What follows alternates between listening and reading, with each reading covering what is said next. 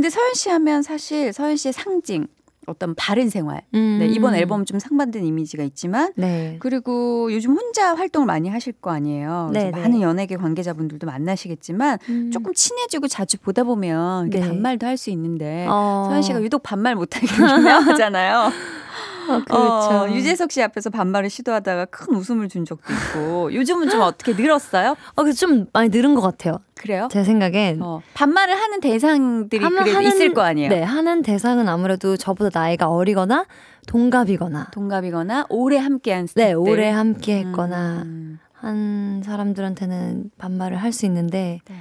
좀 나이가 저보다 많거나 음. 그러면 조금 어렵긴 하더라고요. 어. 그래도 연기자시니까 꽁트에서는 할 수 있죠. 그쵸. 연기 꽁트 한번 해볼까요? 그러니까 아, 지금 무리가 있지만 친구라고 가정하고 새 앨범 나온 거예요. 그러니까 제가 아, 오랜만에 네. 만났습니다. 방송국에서. 음. 어머, 세연아, 너 앨범 나왔더라. 어, 그래. 어, 너 인터넷 방송하는 것도 봤어. 헤어롤 말고 되게 편하게 하던데. 어, 맞아. 너 근데 은근 허당끼 있더라. 어, 어떻게 알았어? 야, 너무 완벽한 이미지만 보여준 거 아니야? 그동안 방송에서? 아, 그런가? 음, 요즘 무대 하는 건 어때? 혼자 다니니까 힘들진 않아? 어, 힘들지는 않은 것 같고 재밌는 것 같아. 아, 여러분 서현 씨가 변했습니다.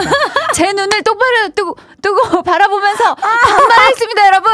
경축 축하해 주십시오. 아.